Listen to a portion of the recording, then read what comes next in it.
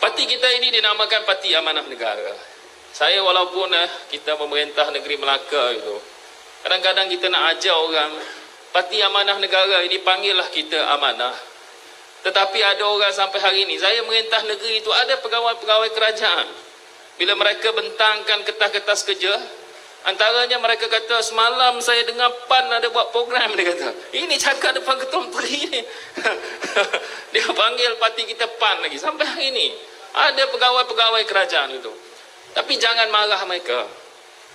Kerana orang yang memanggil kita PAN ini, dia ada dua. Satu dia jahil, yang kedua dia jahat. Itu ya. Jadi kita sebenarnya nama kita adalah Parti Amanah Negara dan kita harus dipanggil sebagai amanah.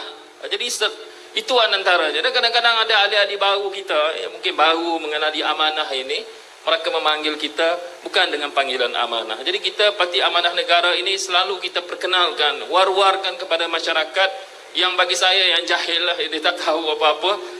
Yang jahat tu dia memang macam tu lah kan. Dia tak akan panggil kita amanah kan. Sebab memang uh, itu sudah sudah uh, terbuku dalam hati mereka. Tapi kita harus mendidik mereka supaya memanggil parti kita ini amanah.